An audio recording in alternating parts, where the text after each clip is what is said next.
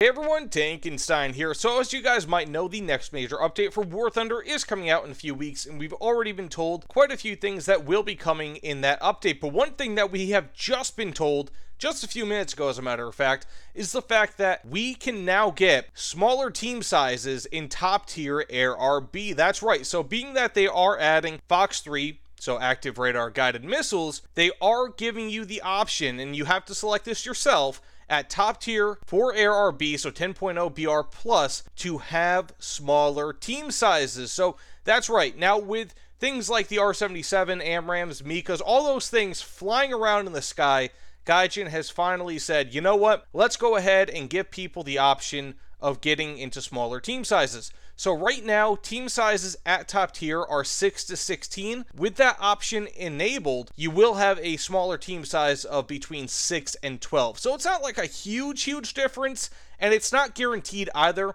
So by selecting that option in the Air Battles tab, you're not guaranteed to get into smaller matches every time. It's just a chance. However, it does give you that option, whereas before, there was none. So this is a pretty cool thing in my opinion. It's a relatively small piece of news, but still a very, very big piece of news at the same time because this is gameplay altering. So this might just be an option, but this does give you the option of getting into smaller battles, which a lot of people have been wanting for quite a long time. So good on you guys for giving player choice a little bit more because everybody benefits from that, especially as we open up the new frontier of Fox 3 missiles in top tier Air RB. But that being said, Thanks so much for watching. If you don't mind, please consider liking, commenting, subscribing as the newest news for this next major update comes out. I will be covering it and, of course, always releasing other videos as well, such as reviews, history videos, which, by the way, did one of the Nahuel